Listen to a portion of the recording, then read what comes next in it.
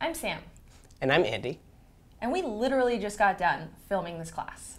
And the way we built this class was basically Sam, along with some help from Mario, taught me how to build an app using the Salesforce platform.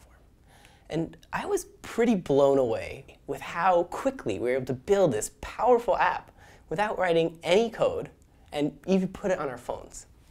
The app we just built is an app that's made to manage a music festival. We chose this app because honestly, it sounded like it would be a lot of fun. And building a music festival app requires the same mindset and the same skills that are required to build any app. I'm not a programmer, and I hadn't even heard of Salesforce before Sam started teaching me all of this. But after working for really only a few hours, I feel like I can actually build apps now. I am totally hooked, and you might be too.